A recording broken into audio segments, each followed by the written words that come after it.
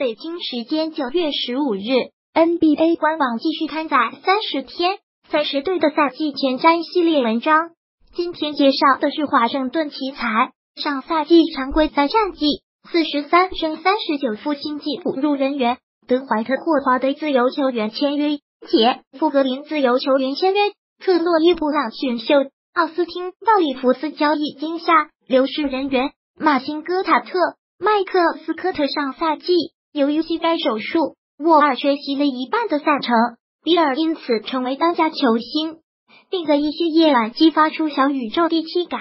比尔的发挥给了奇才信心，使人们明白了，在双核都健康的情况下，他们完全有资本自吹是联盟排名前四甚至前三的二人组。在比尔身边，奥托波特也有亮眼数据，这一季他的三分命中率。高达百分之四十四点一，排名联盟第三。他也是奇才队内的二号得分手。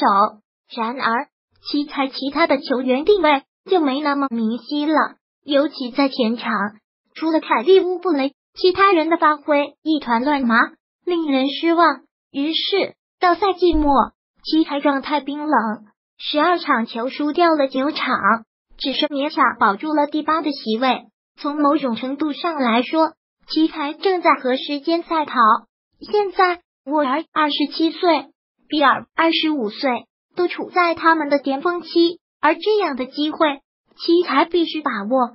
只是这二位核心却很少能一起保持健康，健康也是高层对他们唯一的期望。需要提醒，高管们的耐心总会被耗光。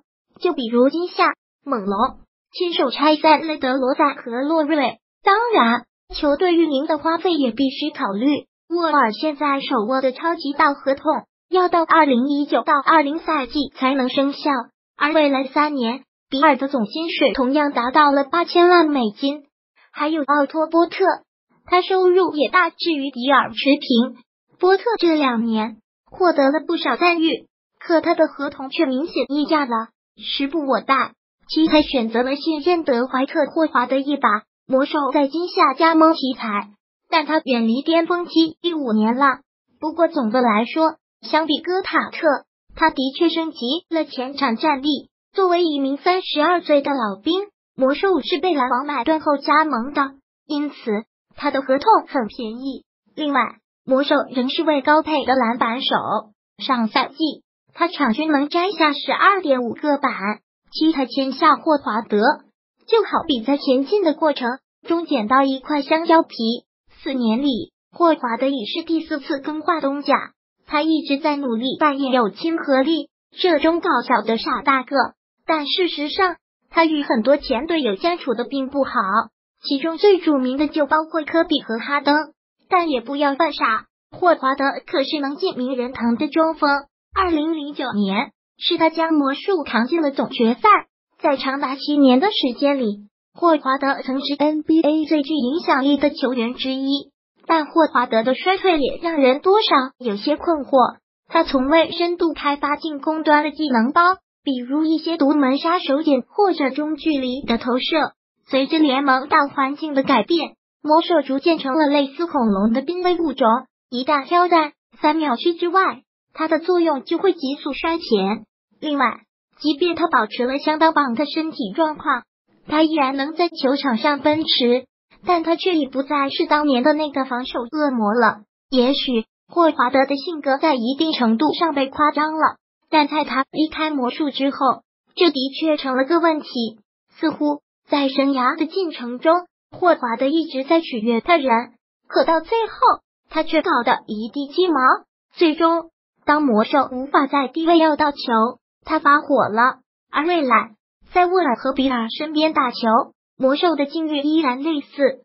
毕竟上赛季奇才双刀场均出手总数超过了三十五次，球的转移、分享球也一直是前任中锋戈塔特时不时抱怨的问题。今夏沃尔一直在说，为了能让霍华德打得舒服，他愿意做任何事情。毕竟有什么好学的呢？自从二零一二到一三赛季，比尔与沃尔联手，两人一起总共赢过三轮系列赛，可他们还从未摸过东决地板。然而，如今随着詹姆斯西游，东部的格局一下子开放起来。休赛期，奇才没有选择交易乌布雷，但后者的处境却值得观望。作为奇才的小前锋，乌布雷持续进步，只是随着球队又摘下一名同类制菜鸟特洛伊布朗，未来地侧将变得更加拥挤。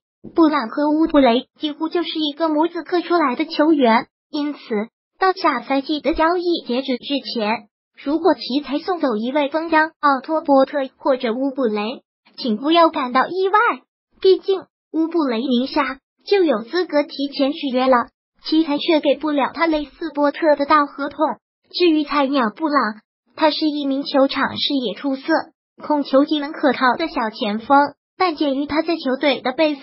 心计，他也许无法获得太多机会。选秀那天，奇才手握十五号签，处境有些微妙。由于他们心仪的后卫和内线都被选走了，他们又不想冒险摘小麦克尔波特，因此最后选项只剩了两个：要么交易掉这张签位，要么选一位一科小将。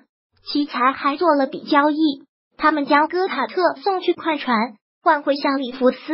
后者标注的位置是控卫，但却缺少比赛视野，为队友创造机会的能力也比较差。小李更像是一名三分射手，上赛季他在外线的表现不错，三分命中率达到百分之三十七点八。未来他可以将该特质带到奇才的板凳上。总的来说，奇才这个夏天运作力度很小，所有这些改变。对于球队大局也不会产生明显影响。在詹姆斯离开东部的背景下，靠着现有阵容，奇才杀进季后赛不会有问题。但他们能走多远，就取决于双核的健康程度了。